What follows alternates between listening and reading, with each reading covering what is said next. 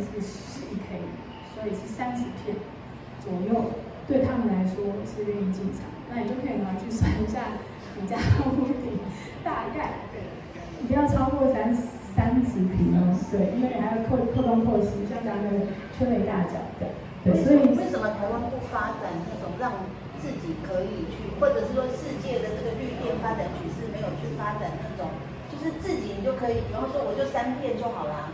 我只要我三片，我就是可以帮一点忙啊。那我就三片，我来储能啊，我来做。就是这个，对对。其实我我们很想推这个，就我觉得其他国家有这样做。像像我常常看到欧洲英国他们一家，他们是斜屋顶嘛，斜屋顶通常表示你只会盖一边。通常如果你向南的话，就是向南的那一边。然后如果你是东西向，你可能就不是很适合盖。虽然通常是盖在适合的那一边的斜屋顶，通常就是八片到十片。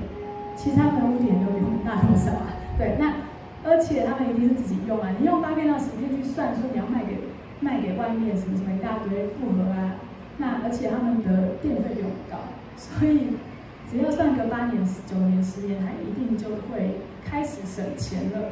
这样，那我们的问题，像英国去年飙高他们的那个电力电价。我朋友在那边，他跟我说两年就回本，所以去年应该有高峰，一直到现在应该都还有。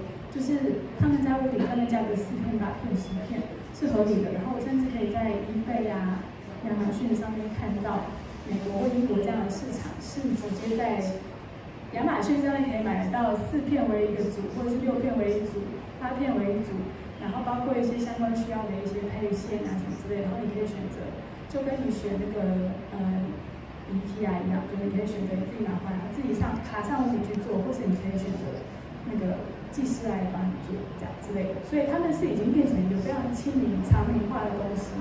而我们没有，我们基本上如果盖了光电板自己用，第一个你要去接那个厂商不是太有常常在用的这些线，所以他没有直接有的一些标配品给你这样。然后他还要做一些相关的这些控流等等的这些装置，它。不一定马上就有适合家户小型这么小的使用的，所以就变你成本很高。可是我们的电费又这么低低廉，那你自己用就是被别人当傻子这样。我不是我没有朋友自己用哦，就是为了 实现就是能源自主，真的这样做啊，就是赔本，但是就是绝对赔本。你如果能自用不卖电的话，是目前是绝对赔本。那你可以可以两天三天去装，那怎么样平衡这些？